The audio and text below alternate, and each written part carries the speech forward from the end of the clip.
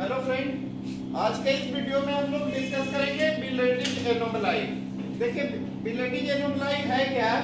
कि आपका first in first out replacement policy में जब हम लोग नंबर ऑफ़ फ्रेम बढ़ाएँगे तो पेज फॉल्ट घटना चाहिए।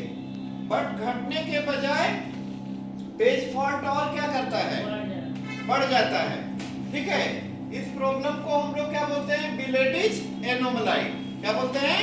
बिलेटिज एनोमलाई देखिए, जैसा कि ये रेफरेंस स्ट्रिंग हम लोग लिए one two three four one two five one two three four five अब इसको पहले हम लोग फ्रेम थ्री रख के बनाए हैं। तो फ्रेम थ्री रख के जब बनाए हैं तो total number of page fault इसमें हुआ है? One two three four five six seven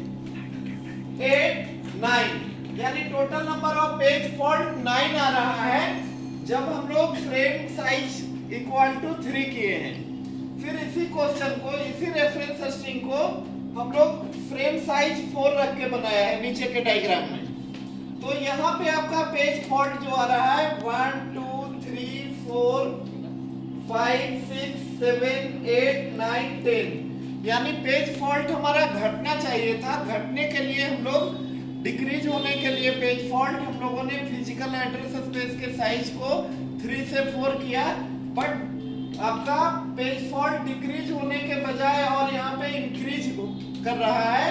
इसी प्रॉब्लम को हम लोग बोलते हैं बिलेटिज एनोमलाई बिलेटिज एनोमलाई का विक्टिम जो है, वो है first in first out memory replacement policy और जो रिसर्चर था, उसके नाम के बाद इस प्रॉब्लम का नाम पड़ा बिलेटिज एनोमलाई ये आपका first in first out scheduling में होता है। फिर से वन सेकेंड रिपीट कर देते हैं। बिलेटिज एनोमलाई आपका first in first out memory replacement policy के वजह से होता है। इसमें क्या होता है कि जब हम लोग फ्रेम साइज़ बढ़ा देंगे तो पेज फॉल्ट घटना चाहिए। बट घटने के बजाय और पेज फॉल्ट आपका इंक्रीज करता है। इसी प्रॉब्लम को हम लोग बोलते हैं बिलेटिज एनोमलाई थैंक यू